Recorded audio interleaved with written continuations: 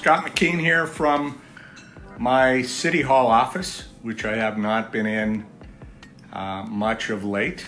Uh, like a lot of you, I've been working from home, social isolating, social distancing, and like for a lot of you, it has not been easy not being around other people. I live alone in a 550 square foot apartment, and that is getting smaller and smaller. I can tell you, but with the weather warming up, I will be outside for walks, probably staying away from the really uh, uh, busier parts of the greater downtown, which I re- represent as City Council for Ward 6. So uh, I want to thank Des for this invitation to talk today, and uh, the subject is uh, social isolation. So when I got elected to City Council in 2013, I went to the mayor and asked about starting a City Council initiative. Uh, we titled it Mental Health and Urban Isolation.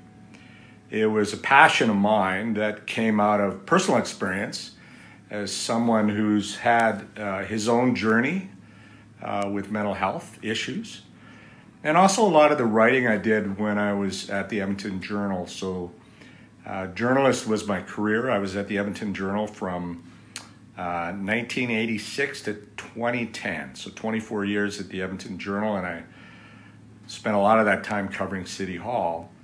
And out of that came um, a, a deep interest in municipal government and the impact it has on our lives. And one thing led to another. Uh, I ran in 2010 uh, originally and lost, but I ran in a different ward, and I think that was that's a it's an interesting issue. People think want to know that you're part of their community, that you have the same experience. So community is something that I want to talk about today our sense of community and how important that is to feel connected to something. And what we know from research uh, is that there's uh, an epidemic, a quiet epidemic of social isolation in modern cities before COVID 19. Uh, and there's a lot of reasons for it. Um, technology gets blamed, the smartphone gets blamed, uh, Facebook gets blamed. But I, you know, I, I think really if you went back far enough, other technologies changed the world a lot. Television was a major one. But if you went back further, my mom has talked about how they would gather around the radio on a Saturday night and listen to Hockey Night in Canada. Uh, so that may not have been an extreme change to people's lives, but television really changed things. I think people were far more likely to be out and about, uh, visiting with neighbors. And television suddenly made it so that you could be home as a family or as a couple or as an individual and be entertained. So, internet, the internet gets blamed, like I say, but it's only really um, uh, sort of has only multiplied the effect that came originally from radio and then television as we became more self sufficient uh, in our um, entertainment needs our sense of being connected to something, unfortunately, our neighbors in our neighborhood and community was replaced by a sense of connection to the people on the radio or the people on the television, and now people uh, on Facebook or Twitter or other um, a zillion other opportunities that the uh, internet rep- represents. But there's also been other research to show that that is it does not fulfill our need for um, contact with others in the same space, which COVID 19 has uh, largely taken away. So, social isolation, epidemic in in modern society, and and I wanted to say too that it's it's it's also reflective of lifestyle and changes. I read this great piece about the um, the descent of extended family. Uh, you know, there we might talk about the sort of small village of Lore, or even go back far enough, and we lived in our tribe, uh, and that's where you know humans are social animals, and that was reflected in the in those small groups that we gathered in. Extended family in more modern times was how people were collected. So you had much, you were much more likely to have relationships with aunts and uncles and grandparents and cousins, and they might be part of your daily world. But things changed, and people went, families then became more around based around the nuclear family, just mom and dad, kids. They might go visit grandparents or visit extended family, but day to day life was based around the nuclear family. Uh, that broke down. Um, the nuclear family broke down as people moved across country for work. Uh, it broke down as fewer and fewer people went to church. Uh, it broke down as um, people did long commutes to and from work. There was just more and more isolating of the individual, and at the same time, uh, we elevated individual achievement above everything else. Um, we might, I think the opposite of that, and I think it's really interesting, having lived through this a few times, when the Edmonton Oilers go on a run through the Stanley Cup, that's probably the, the um, most obvious example where, as a community, we share a sense of connection to something bigger than the individual, bigger than ourselves. Fascinating that it takes a professional hockey team to get us to feel that way.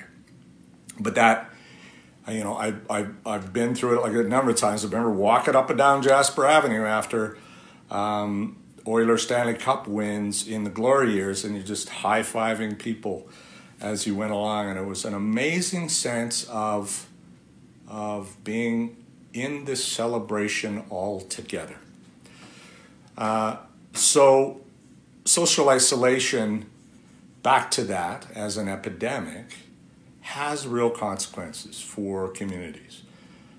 On the broadest sense, I think people are far less likely to volunteer because social isolation, I believe, and I think we see examples of this, um, exaggerates our sense of privacy. We, we, as we isolate, we, we almost feel like that's what we want, so we want to ensure that we, uh, our, our privacy is protected.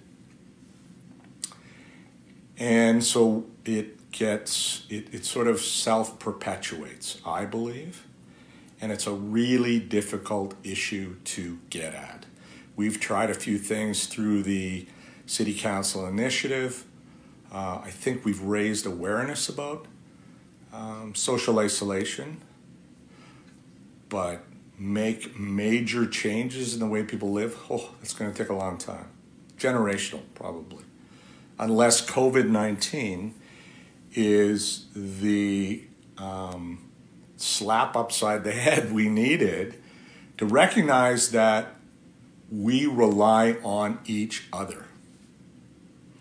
Uh, we absolutely rely on each other, not just for quality of life, but for extension or of life, healthcare. Um, so there are impacts um, of social isolation on our sense of self, sense of belonging, our happiness. And um, so depression is inevitable, I think, if you're not connected with other people. Anxiety, I think, is inevitable if you do not feel the support of a connected community. And, and I think that uh, bitterness and division are so typical in today's uh, politics. We see it more in the United States, I think, than in, in Canada. But that real sense of divide and bitterness and anger and frustration with the other is ref- a reflection, I believe, of this loss of group connection, this feeling part of, you part of a community, you serve that community, you enjoy the benefits of that community. So there are real implications from this broad and rampant sense of social isolation.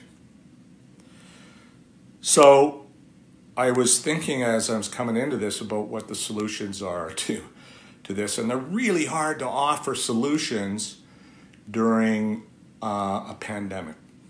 Because the answer is, you know, go join a, a, a club, go join a sports league, go volunteer, volunteer wherever you can, because as you do that, you will get a greater sense of connection to something outside yourself. And there's nothing like serving others to make yourself feel better and make yourself feel part of. Those options aren't available right now.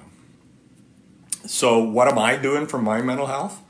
Um, outside of work and that sense of service that my office and I get, and I should mention the tremendous support I get from Roxanne, Roxanne Piper, Rebecca Vischer, and Sydney Gross, who all work in the Ward 6 office, part of a team.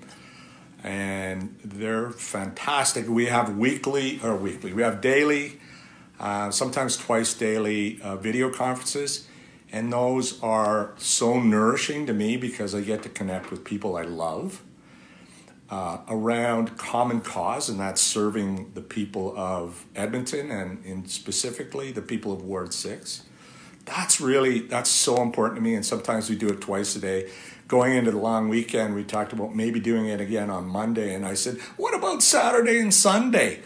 Because uh, I live alone.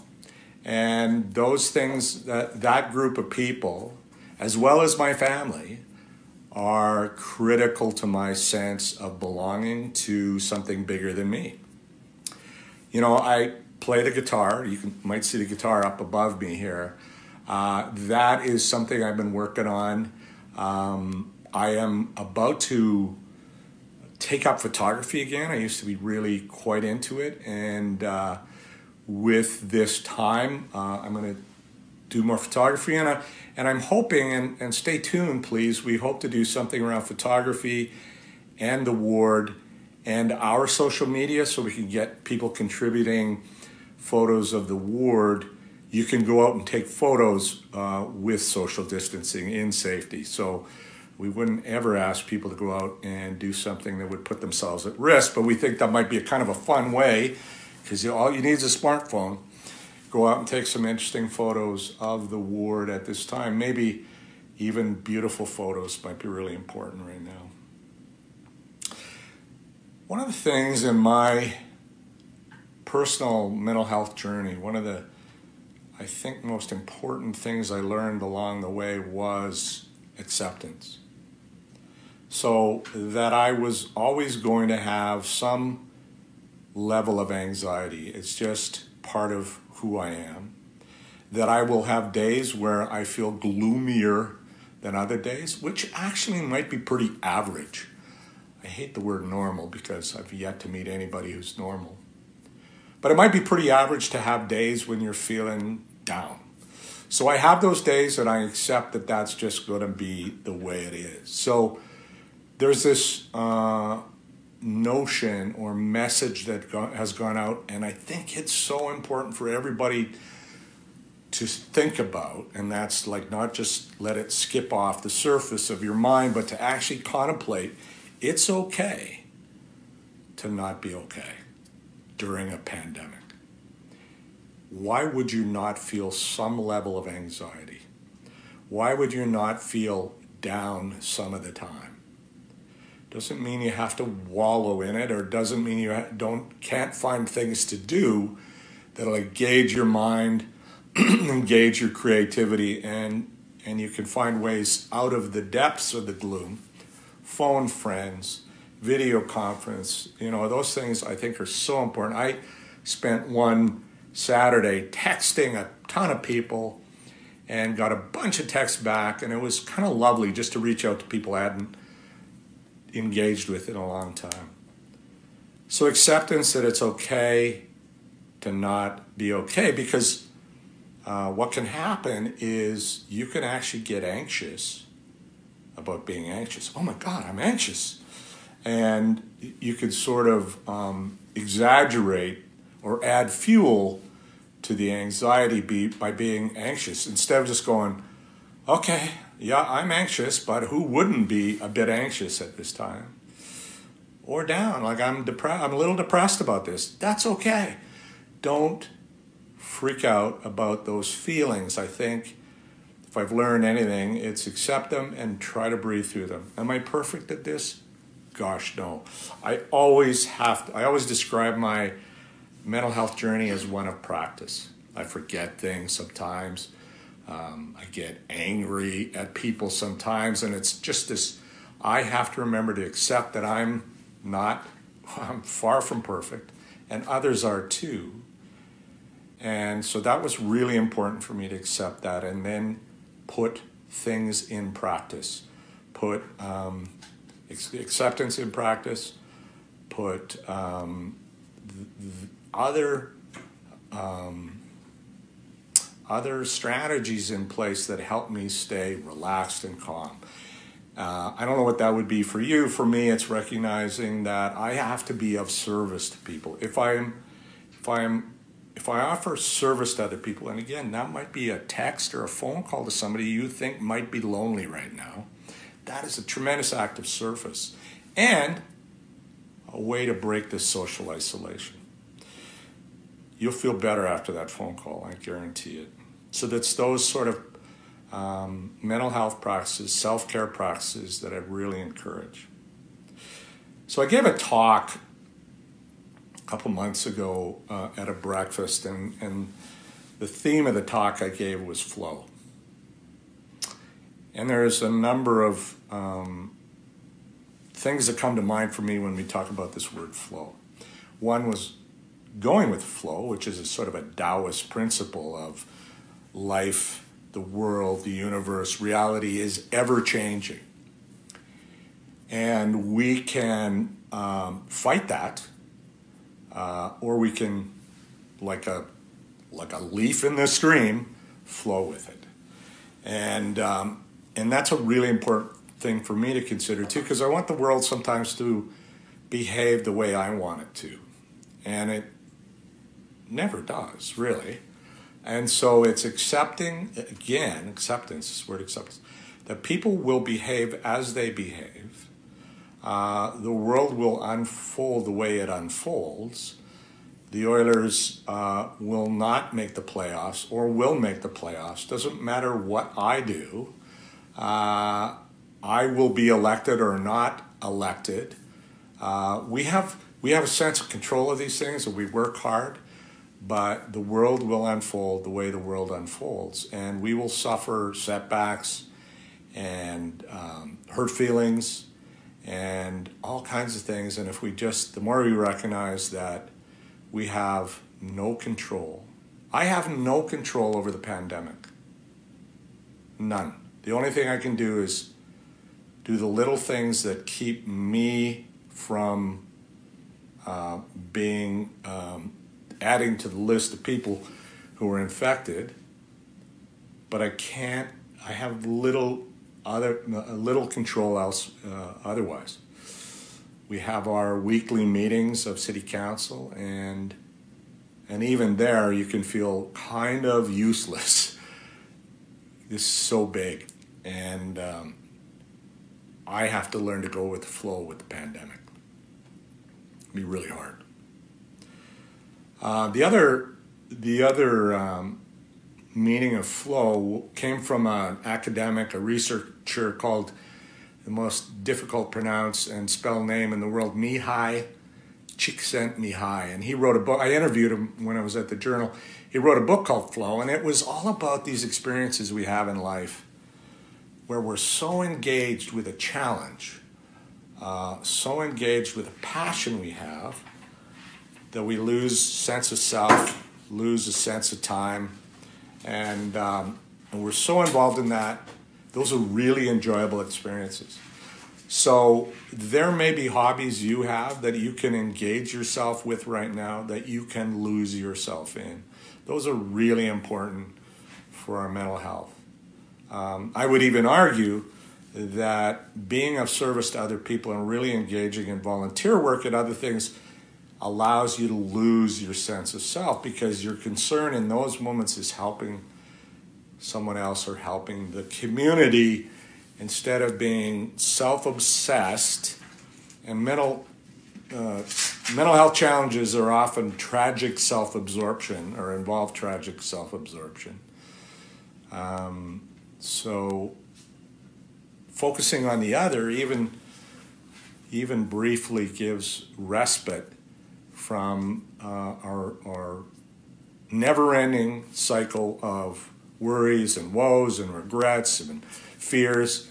Uh, the Buddhists talk about, uh, call that the monkey mind, and, and it's a really good description of the way our minds work, chattering away, distracting us, uh, making us worry about things. So, um, I know there's been some questions coming in. I'll, I'll tell you, Rebecca Vischer, who I mentioned earlier, is in my office. We're social distancing appropriately, uh, but she's here to help me because I'm technologically uh, inept. And so she's the she helped me get on here today and just uh, has delivered to me some questions. Uh, what is it? Why is it important to take what we are doing now into the future after the pandemic? I've spent a lot of time thinking about how the pandemic will affect us. We know that there will be tremendous financial, economic upset. We know there are a lot of people out there who've been laid off and are extremely worried about their future. My hope, maybe uh, my optimistic take on this, is that there will be a greater sense of community come out of this. There's been a lot of focus on healthcare workers, appropriate focus on healthcare workers because they're uh, risking their, their health to save lives and bring comfort to those that are miserably going through uh, more extreme cases of COVID. But there are bus drivers who are getting people to and from work.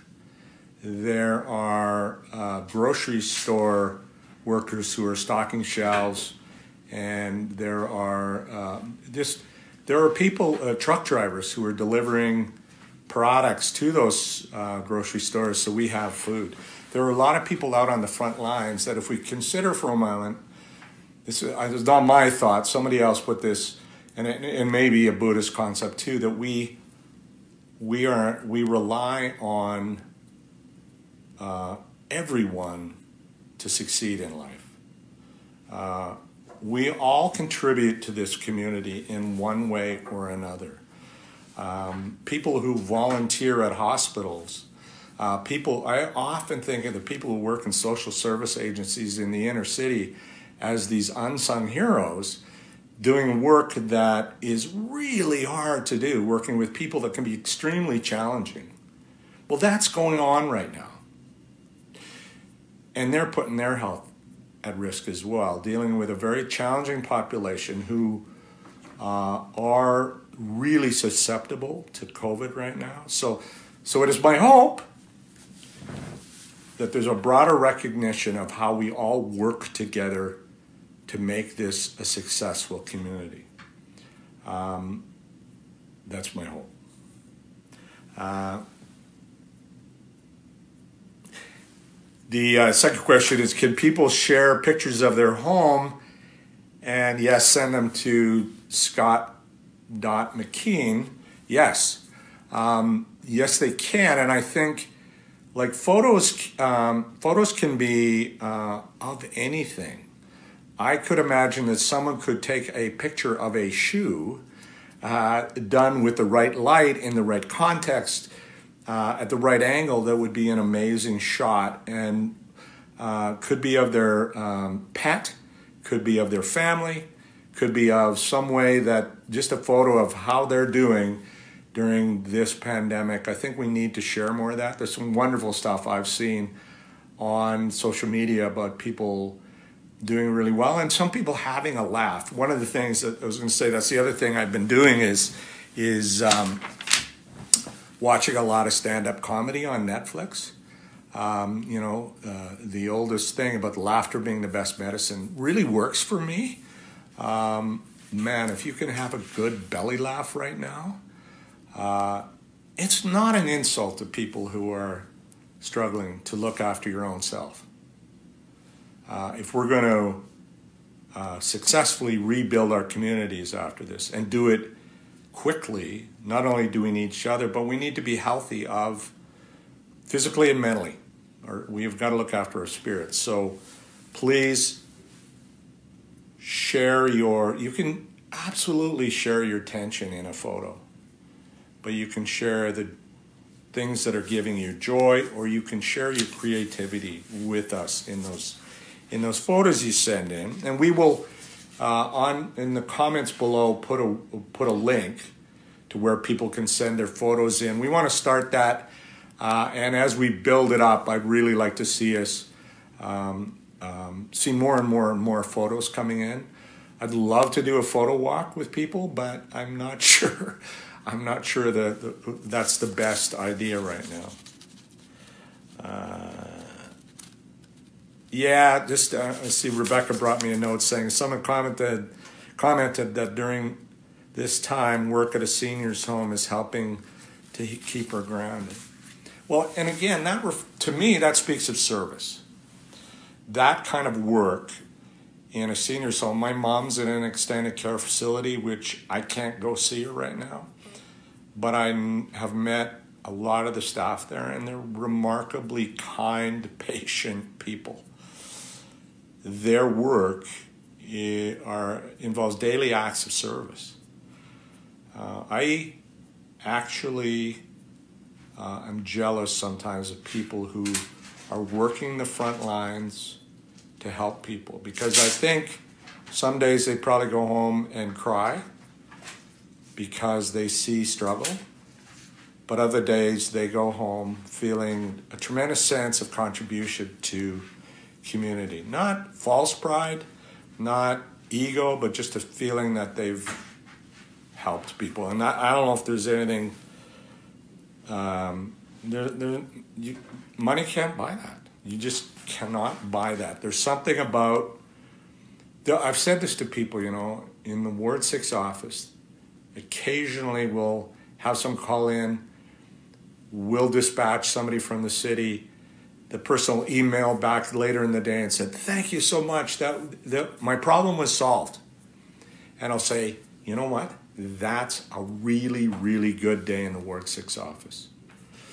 It's not about um, the thing that hits the news. Often, it's the little things we do to help people. It, it feels tremendous. Okay, and I got some other questions here. Um,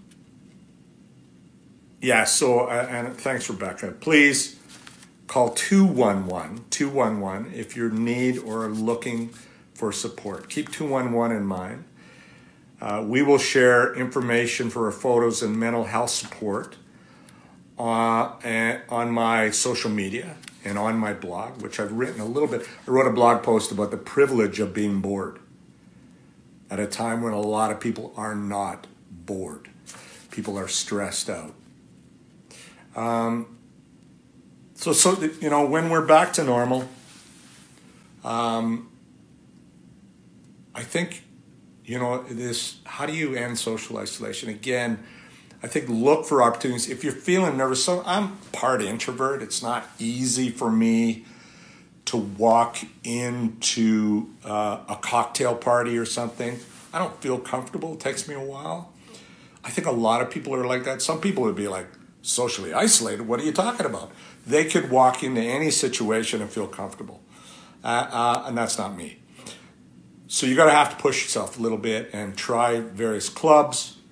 Um, there are there are a lot of ways uh, that you could join groups. You know, camera clubs, sports clubs, um, theater groups that you could, and there's volunteer opportunities like crazy. That volunteering to me is the number one way to overcome social isolation. And um, the other major tip I'd have if you have the means, put some sort of either set two lawn chairs out in the front lawn and sit there for part of the day, um, or build a front veranda. Which leads me to a how we at the city have to do a lot more. We have to consider this a lot more about how we design communities, how we design our parks, how we design our public spaces to get people to naturally more comfortably bump into each other. Uh, I think one of the great things for an introvert like me is finding the right spot where I can sit with a coffee and people watch. Uh, I feel connected to a community then. Now, I have to ask Rebecca a question because I'm technologically inept. Are we near the end? it's been half an hour. It's totally up to you. Oh, it's totally up to me. Uh, well, let me see if there's anything I wanted to touch on. Well, um, the changed world. I think that's that's it's something that I I hope all of us will think about. What kind of world do we want coming out of this? I want people who have been laid off to be looked after, and not with crumbs.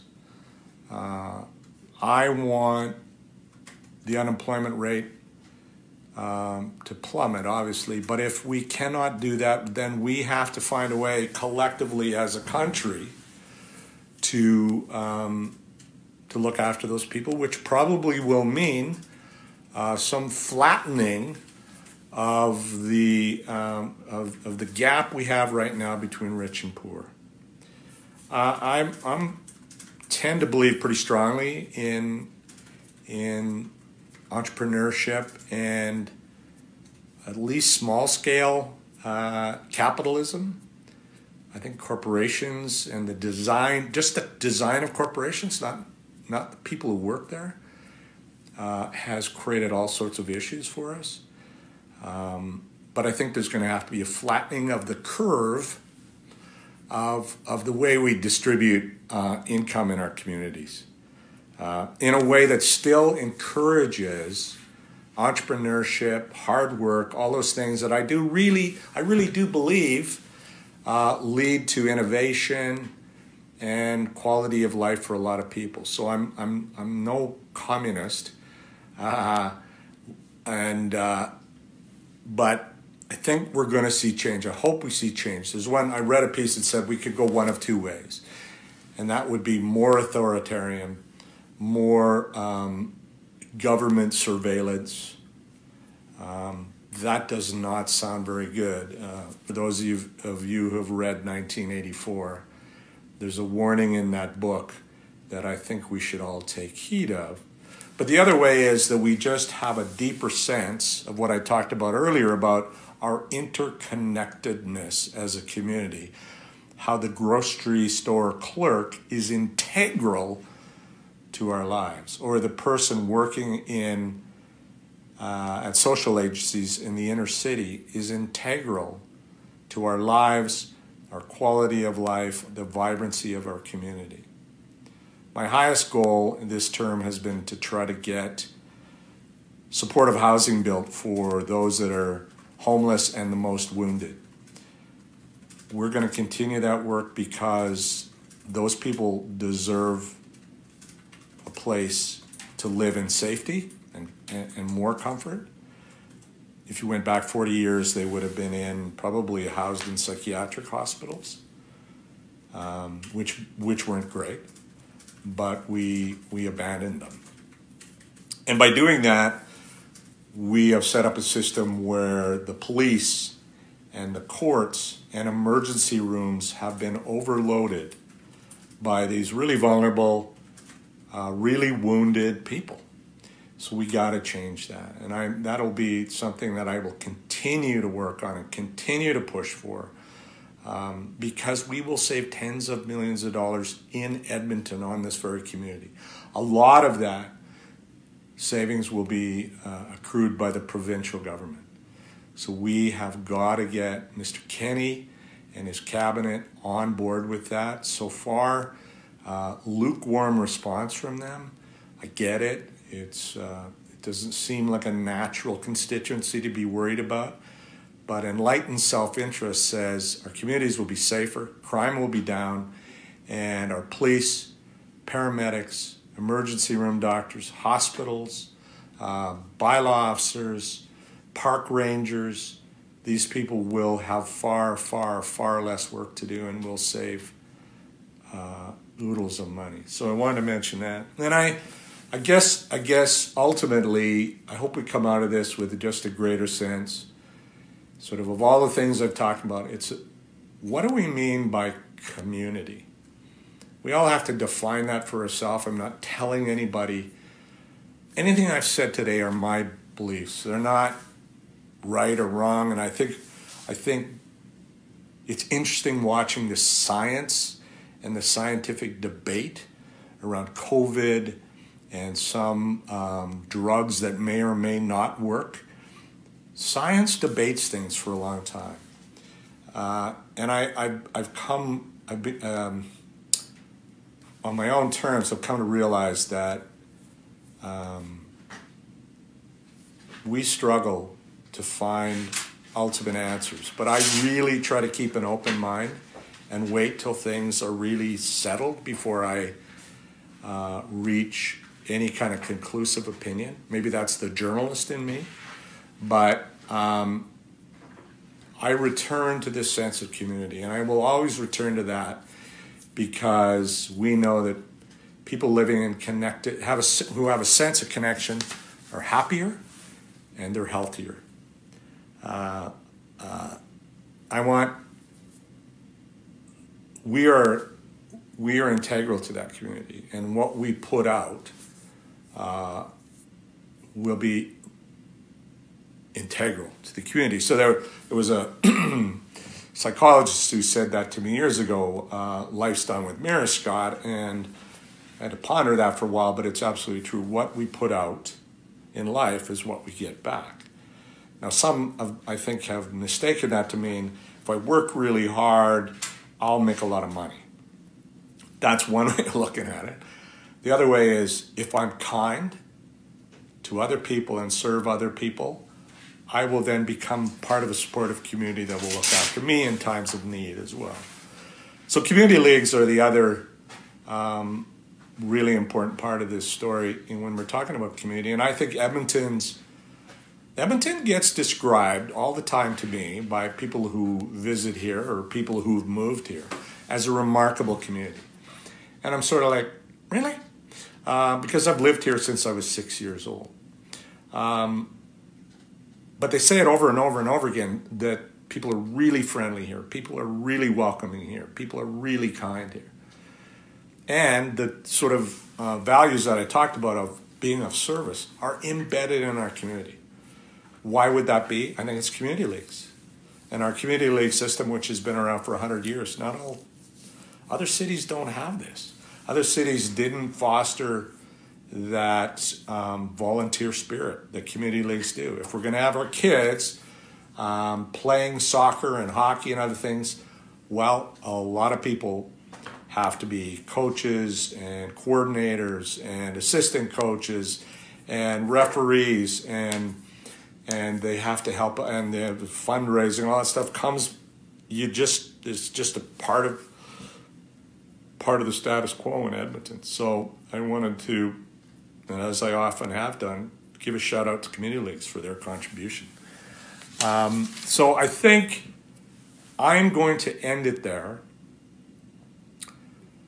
There's a saying in an organization i've been involved with over the years uh, I've heard it said many times, and that saying is, well, take what you need and leave the rest. So if anything I have said is helpful, uh, that that will, well, that's a good thing. If you disagree with things I said, that's totally fair. Uh, I am certainly not uh, an expert on everything. This is just my take on community and isolation, mental health. And I wish only for you that during these times of real crisis that you find ways to connect, you find ways to bring some joy to your life, you find some ways to laugh. And please understand that we will not only get through this, but we will rebuild lives and rebuild our community in ways that I think will be more just and fair vibrant and lovely and full of art, full of music, and full of laughter.